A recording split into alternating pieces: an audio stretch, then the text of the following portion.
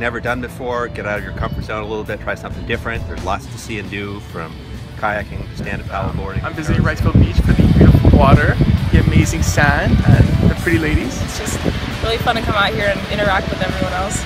Um, I like coming to Wrightsville Beach. Really, I don't know. It's just a nice vibe to it. It feels different than other beaches here, um, and just the community as well.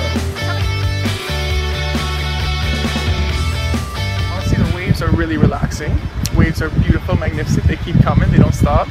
Um, people are just pleasant, and it's an all-around. Uh, mostly here, like near the pier, near the Oceanic, you know, somewhere. There are a lot of people who've really come here. Yeah, I love the Oceanic just because it's so nice to sit outside and eat on a pier. It's such a unique experience. it's so much fun.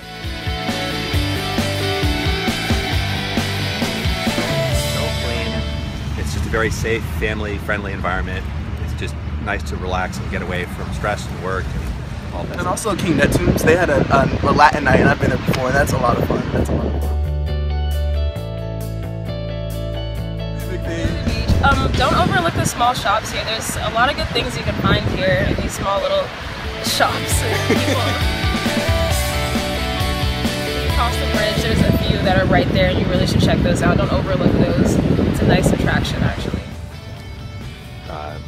You know, nature tours, um, surf lessons, sailing, anything on the water, try a new restaurant. Honestly, like the houses here are beautiful, just all up and down this beach, and so a lot of people who live here just I didn't expect that when I came here.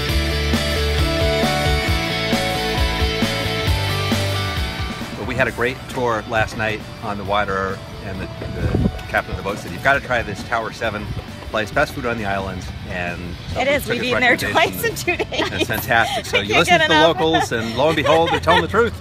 It was fantastic. That's a I great. I guess it was everything I expected it to be, maybe even better. Yeah. And how do, do you like our accents? I love the southern accent. It, it's magnificent, believe me.